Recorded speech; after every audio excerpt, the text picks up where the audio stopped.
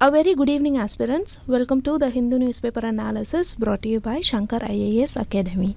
Today's date is 9th of August 2023. Displayed here are the list of news articles that we are going to discuss today.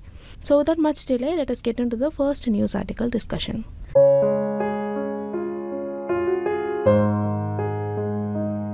Take a look at this opinion page article. As we all know, India recently has been taking many steps with the aim of becoming the semiconductor manufacturing hub of the world. To become successful in this endeavor, India need to learn from the best practices that are employed in other countries. In 2022, the US enacted the CHIPS Act to give a boost to its own semiconductor industry. India needs to adopt best practices from the CHIP Act to achieve its goal at a rapid pace. It is in this context the article here is written. The author of this article highlights various positive aspects of the CHIPS Act and what India can learn from it. This is the crux of the news article given here. In this context, let us see some of the points highlighted in the article in detail. Before that, the syllabus relevant to this news article is highlighted here for your reference. You can go through it. Now, let us start our discussion by seeing a few points about the CHIPS Act 2022. See, all major technologies from smartphones and computers to advanced medical equipments and national defense systems use semiconductors. Currently, the semiconductor industry is dominated by a handful of countries. So, any disruption in the supply chain would impact the US technology industry greatly. This is why the US enacted the CHIPS Act or the Creating Helpful Incentives to Produce Semiconductor and Science Act. This act gives a boost to its domestic semiconductor sector. It also aims to address the United States' dependency on foreign sources for semiconductor production. It also aims to make the US the technological leader in the semiconductor industry. The Act is planning to achieve this aim by providing substantial financial support and creating a comprehensive framework for its domestic semiconductor industry. So, with this brief introduction about the CHIPS Act, now let us see what India can learn from CHIPS Act.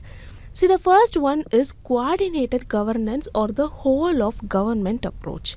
See, India's semiconductor strategy mainly rests with the Ministry of Electronics and Information Technology. The ministry set up an independent division by the name India Semiconductor Mission ISM. This ISM will be led by global experts in the semiconductor and display industry. It will act as the nodal agency for effective and smooth implementation of the schemes for setting up of semiconductor and display fabs. So the ISM takes care of the fabrication or the manufacturing side. The chip design policy, however, will be taken care of by the Center for Development of Advanced Computing CDAC. CDAC is an autonomous scientific society operating under the Ministry of Electronics and Information Technology. So, in essence, all aspects of India's semiconductor policy will be under the umbrella of the Ministry of Electronics and Information Technology, in short called as MeitY. This is not the whole of the government approach or the coordinated approach that is followed in the US. The CHIPS Act of the US gives more importance to coordination among various arms of the government. The CHIPS Act envisages coordination among the Department of Commerce, Department of Defense, Department of State, and the National Science Foundation. Each of these departments play a significant role and also coordinate with each other. For example, the Department of Commerce focuses on accelerating semiconductor manufacturing and research. The Department of Defense focuses on defense unique application of semiconductors. The Department of State focuses on ensuring semiconductor supply chain security. Finally, the National Science Foundation will focus on creating a workforce with expertise in semiconductor technology. This coordinated governance will aid in the multifaceted development of the semiconductor industry. So, India could also adopt a whole of government model similar to CHIPS Act and promote coordinated effort across different ministry and departments. Now moving on, the next thing India can learn from the CHIPS Act is workforce development. See, a trained and effective semiconductor engineering workforce is a vital asset for any nation aspiring to excel in the industry. India's Chips to Startup, in short called as C2S program, is a step in the right direction. C2S program aims to scale up workforce expansion by providing support to the already existing quality training programs. But the issue here is that chip design training in India is mainly done by private players who operate outside the formal education setup. This is an issue. The CHIPS Act addresses this issue. The Act creates the National Semiconductor Technology Center, in short called as NSTC. This NSTC promotes collaboration between the industry and the educational institutions. This will help the educational institutions frame syllabus to address the need of the industry. So, the engineers who graduate from the universities will themselves be trained according to the industry needs. So, likewise, India can also certify quality training programs from universities. This will help India create a skilled and adaptable workforce for the semiconductor sector. The next one is regarding accountability and transparency. See, India right does not have any provisions to ensure transparency. On the other hand, the CHIPS Act has the CHIPS Program Office CPO. The CPO laid down the guidelines for assessing the financial viability of new project proposals. The CPO also takes steps to catalyzing private sector investments in the sector. India's semiconductor strategy could benefit from a similar mechanism. For promoting transparency and accountability, a regular monthly progress report on the semiconductor program could be provided. This would instill investor confidence and public support for India's semiconductor program. The next thing is related to investing in future focused research. See, India currently focuses mainly on high value chip manufacturing there is not enough support given to innovation. In contrast, the CHIPS Act allocates a significant investment in future research. For example, the CHIPS Act proposes the National Advanced Packaging Manufacturing Program, in short called as NAPMP. The program aimed to gain leadership positions in advanced packaging technology. So, India must also identify future trends and invest in research. This will help India position itself as a major contender in the global semiconductor sector. These are the important lessons that India can learn from the CHIPS Act of the US. In essence, India must try to achieve a balance between achieving its immediate needs all the while keeping an eye on its long term vision. By taking lessons from the CHIPS Act, India can transform itself into a global semiconductor powerhouse. That's all regarding this news article discussion. In this news article discussion, we saw about some of the shortcomings in India's approach with respect to semiconductor and how India can learn from CHIPS Act of US. So with these learned points, now let us move on to the next news article discussion. Take a look at this article. According to the article, crop insurance claims under Pradhan Mantri Fasal Bima Yojana PMFBY is pending in many states. The maximum pendency of claims is in Rajasthan, Maharashtra, and Gujarat. So, in this context, let us learn few points about Pradhan Mantri Fasal Bima Yojana. Before that, know that Fasal in Hindi means crop or harvest, and Bima means insurance. So, it is clear that this is a crop insurance scheme. It was launched in 2016. It replaced the then existing two schemes namely National Agricultural Insurance Scheme NAIS and Modified NAIS. Talking about the objectives of the scheme, see firstly it provides financial support to farmers who are suffering crop loss or crop damage arising out of unforeseen events. Secondly, it stabilizes the income of farmers to ensure their continuance in farming because sometimes after crop loss or damages farmers tend to look for other daily wage jobs in some instances they also sell their agricultural land. So the crop insurance makes sure they continue farming.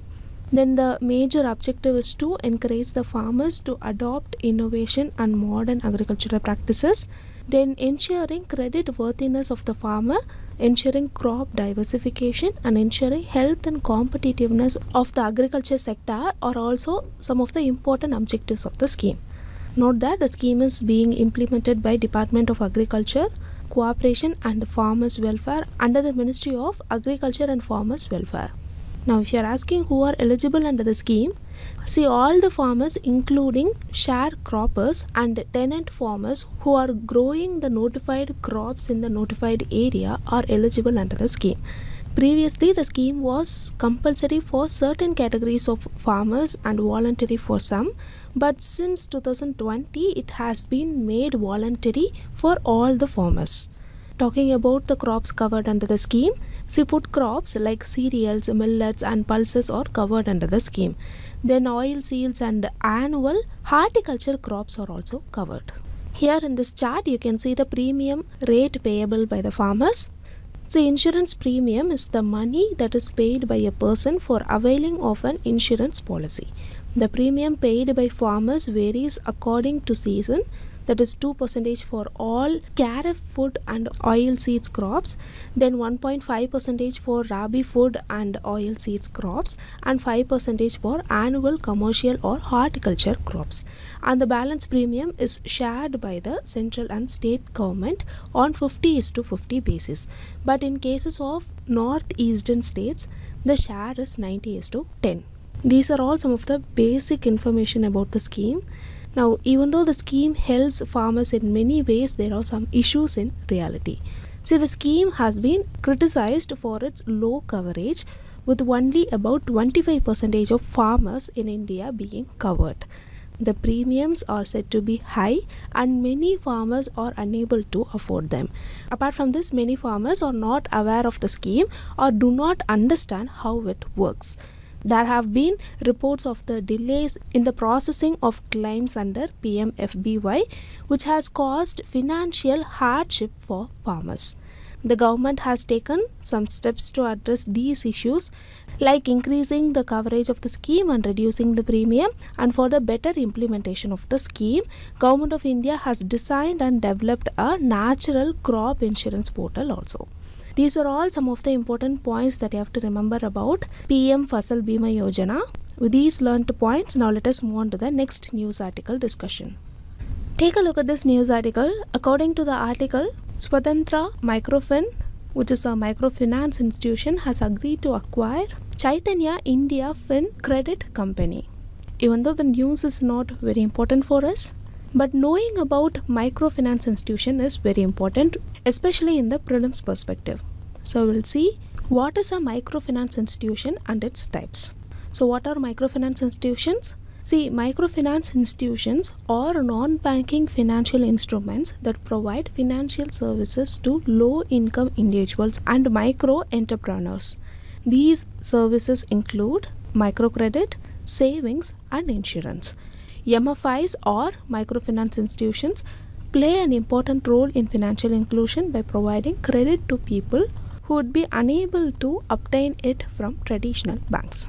These institutions provide reasonable small loans safely and in a manner of ethical lending practices.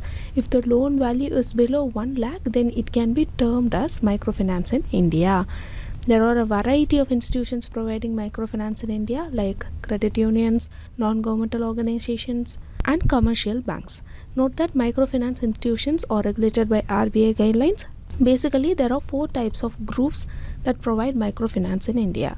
Let us see them one by one. The first one is Joint Liability Group, in short called as JLG.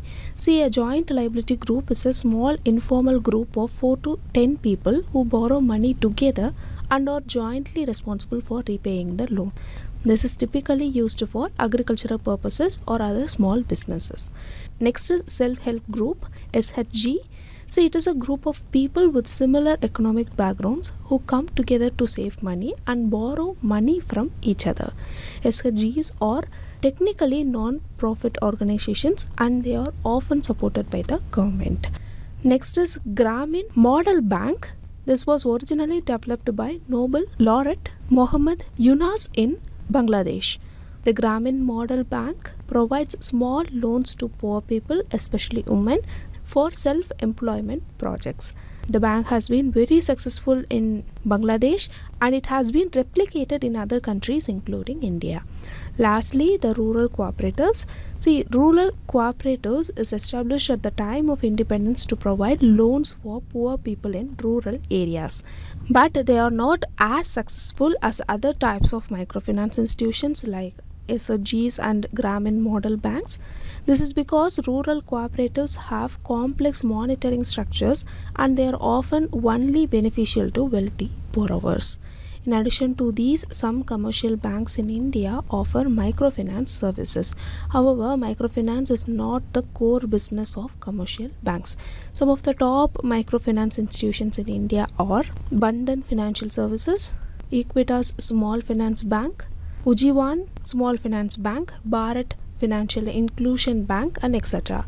Talking about the benefits of microfinancing, see, microfinance provides easy credit and offers small loans without any collateral. Hence, it benefits the underfinanced section of the population, like women, unemployed people, and those with disabilities. Microfinance has helped to reduce poverty and increase financial inclusion in the country. However, microfinance has also faced some challenges like high interest rate and loan defaults. The government of India is committed to promote microfinance and has taken a number of steps to support the sector. These steps include providing financial assistance to self-help groups, reducing regulations and promoting awareness of microfinance and etc. As a result of these initiatives, microfinance is expected to continue to grow in India and reach even more people in need. That's all regarding microfinance. So, in this news article discussion, we saw about what is microfinancing, then we saw about the types of microfinancing and some of its advantages. So, these learned points. Now, let us move on to the next news article discussion. Take a look at this text and context article. The article is speaking about the Jan Vishwas Amendment of Provisions Bill 2022. It is suddenly in news because recently Parliament passed this bill the bill was introduced in Parliament in December 2022. Now, after seven long months, the bill was passed recently in the Parliament. So, in this news article discussion, we shall see some of the basics of Jan Vishwas bill, some of its pros and cons. First, we'll start with Jan Vishwas bill. See, the Jan Vishwas Amendment of Provisions Bill 2022 seeks to amend 183 provisions in 42 existing laws. These laws are spanning across 19 ministries or departments like Department of Agriculture, Environment, Media and Publication, Health and so on. Basically, the Jan Vishwas bill aims to convert several fines under various laws to mere penalties. See, actually, there is a very big difference between fines and penalties. The term fine refers to a sum of money that the convict needs to pay for a committed offense. Generally, the court orders the convict to pay a fine amount after the complete prosecution. Now, if we take penalties, penalties do not involve court proceedings. They are imposed when a person does not comply with the provision of a specified act. The penalties are usually imposed by the executives themselves and the court do not play a major role here. So this is the major difference between the fine and penalties. Now this Jan Vishwas bill which aims to convert several fines under various laws to mere penalties. This means that once the bill becomes law, the prosecution of the court is not necessary to administer punishments. On one hand, it will reduce the burden of huge cases to the court, and on the other hand, it will boost the ease of living among the people. Apart from converting fines to penalties, the bill also removes imprisonment as a punishment for many offences. Overall, the Jan Vishwas bill gives further boost to ease of living and ease of doing business. So these are all some of the basic information about Jan Vishwas bill. Now moving on to the pros and cons of the bill. See the news article focuses particularly on amendments related to health sector. So we shall see the pros and cons related to amendments with respect to health sector alone. See the Jan Vishwas bill seeks to amend various health related laws like the Drug and Cosmetics Act 1940, the Food Safety and Standards Act 2006 and the Pharmacy Act 1948. As per the Jan Vishwas bill, various offences under these acts will amount to lesser punishments than before. So, this has evoked heated debate about its pros and cons among various healthcare activists. Among the changes to these three health related laws, the changes proposed to the Drug and Cosmetics Act 1940 have been the most contentious. See, the Drug and Cosmetics Act 1940 regulates the import, manufacture, distribution, and sale of drugs and cosmetics in the country. Currently, the Act defines four categories of offences related to the manufacturing of drugs. The offences include the manufacturing of adulterated drugs, then manufacturing of spurious drugs, then manufacturing of mislabeled drugs, and manufacturing of not of standard quality drugs NSQs. These four activities are classified as offences under the Drug and Cosmetics Act 1940. See, the Act also provides for degrees of punishments like a combination of prison and fine based on the degree of the offence. But now the Jan Vishwas bill tries to amend the Drugs and Cosmetics Act 1940 to reduce the punishment or to convert fines to penalties. So this actually concerns many healthcare activists. Some experts say this amendment is detrimental to public health. The amendments allows the drug manufacturing companies to manufacture not of standard quality NSQ drugs. The amendment also helps the manufacturers to escape significant penalties despite low standard drugs can have an adverse effect on the patients. This is the first concern. Secondly, the bill also reduces penalties for owners of pharmacies who violate the terms of their license. This also affects the production of standard quality of drugs. So these are the two main concerns associated with amendments to the Drugs and Cosmetics Act 1940. Talking about the pros associated with the amendment, see responding to the concerns raised by various groups, the Indian government said that the amendment is brought in the aspect of more industry friendly See, India is regarded as the pharmacy of the world. So, to retain this position, India needs to ensure the production of best medicines while offering reasonable benefits to business.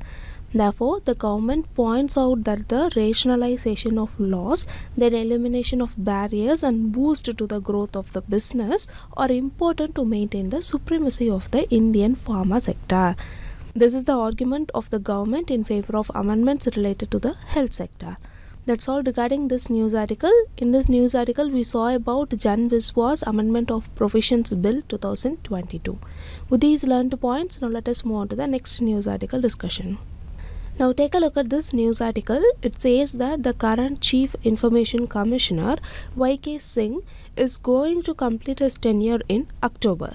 So the union government has sought applications for the post of Chief Information Commissioner in the Central Information Commission CIC. So in this news article discussion, we shall brush up the basics of Central Information Commission in detail. The Central Information Commission CIC is a statutory body set up under the Right to Information Act 2005. It is responsible for ensuring that the provisions of the RTI Act are implemented effectively and for addressing complaints from individuals who have been denied information by public authorities. The CIC is located in New Delhi. Talking about its composition and appointment procedure, see the CIC is headed by a Chief Information Commissioner CIC and has a maximum of 10 information commissioners. All of them are appointed by the President on the recommendation of a committee consisting of Prime Minister as chairman, leader of opposition in Lok Sabha, and a union cabinet minister nominated by the Prime Minister. All the members shall hold office for a term as prescribed by the central government or until they attain the age of 65 years, whichever is earlier. Note that they are not eligible for reappointment now let's quickly see about the functions of the CIC. See, its jurisdiction extends over all central public authorities. It can receive and inquire into complaints from individuals who have been denied information by public authorities. Also, the Commission has authority to inquire in a suo motu manner. While inquiring, the Commission has the power of a civil court. It also has the power to order public authorities to provide information to individuals. It can review the decision of public authorities on appeals filed by individuals as well. One important function of the Commission is to conduct studies and research on issues related to transparency and accountability in India. It also promotes awareness of the RTI Act among the public. See, like the Central Information Commission, there is also the State Information Commission. It is constituted by the state government. It has one state chief information commissioner and maximum 10 state information commissioners. They are appointed by the governor on the recommendation of the appointment committee headed by the chief minister. So, in conclusion, CIC is an important institution for ensuring transparency and accountability in India. It has played a significant role in helping individuals access information from public authorities and in holding the government to account. So, with these learned points, now let us move on to the next news article discussion. Take a look at this front page article. The news here is that due to the increasing cyber and malware attacks on defense and critical infrastructure across the country, the Defense Ministry has decided to replace the Microsoft operating system, that is OS, in computers connected to the internet. They are going to replace it with a new locally developed OS called Maya. The Maya OS is based on open source Ubuntu. So, in our discussion today, we'll see a few points about Ubuntu and Maya OS. First, let us take up Ubuntu. Ubuntu is one of the most well known Linux based operating systems. It is user friendly and comes with a variety of softwares for different needs. Ubuntu uses the Linux kernel as its foundation. Ubuntu can be customized and configured according to user preferences, allowing user to personalize their computing environment. Talking about the advantages of Ubuntu, see the first advantage is security. Ubuntu is built using the Linux kernel. It is less susceptible to viruses and malware compared to some other operating systems. In addition to this, regular updates and security patches are provided to keep the security secure. The second advantage is that Ubuntu is built upon the principles of open source software. Due to this, Ubuntu's source code is freely available for anyone to view, modify, and distribute. The last major advantage is its user friendliness. See, the GUI, that is graphical user interface of Ubuntu, is similar to Windows OS. This enables users to easily have a transition from a window based environment to Ubuntu. So, these are all some of the major advantages of Ubuntu OS. See, we know that Ubuntu's source code is freely available to anyone to view, modify, and distribute, right? And the Maya OS is a modified version of Ubuntu. Our government agencies developed the operating system Maya within six months. The prime focus of this OS is to combat cyber attacks and malware attacks. The OS Maya is being installed on the computers of the Defense Ministry only and not on the rest of the services. But the report says that the three other services, that is the Navy, Army, and Air Force, will soon adopt the operating system. As an additional security measure, the Defense Ministry will also install an endpoint detection and protection systems, but the name of Chakravyuh in all the systems. Here, endpoint detection and protection systems or cybersecurity solutions. They are designed to secure individual devices or endpoints within a network. These endpoints can include computers, laptops, smartphones, tablets, servers, and other internet connected devices.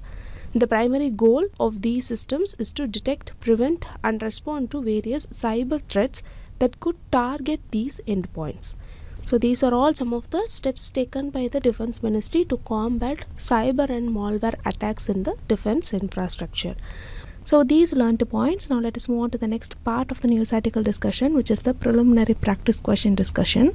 Now, take a look at this first question. Here, four options are given regarding Central Information Commission CIC. You have to find which one of the following is not correct with respect to CIC. See, the correct answer for this question is option D. The salaries and allowance and other terms and conditions of service are fixed by the president.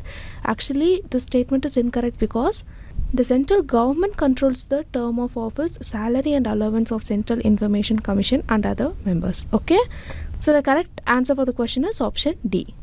Now, moving on, look at the second question. The term Chakravyuh which recently appeared in news is related to which one of the following? Option a government effort to give boost to traditional spinning wheel. Option b government effort to encourage cycling to work to address lifestyle disease. Option c endpoint detection and protection systems to prevent cyber and malware attack. And option d government effort to encourage practicing yoga at workplace. So the correct answer for the question is option c. We saw in the discussion right Chakravyuh is actually an endpoint detection and protection systems to prevent cyber and malware attacks. Now moving on, look at this third question. The micro units development and refinance agency was set up by the government of India in 2010. Which of the following is not a target group of Mudra loans? You have to find which one is not a target group. Okay, option A micro entrepreneur, option B small and medium enterprises, option C small farmers, option D women self help groups. So the correct answer for this question is option B small and medium enterprises.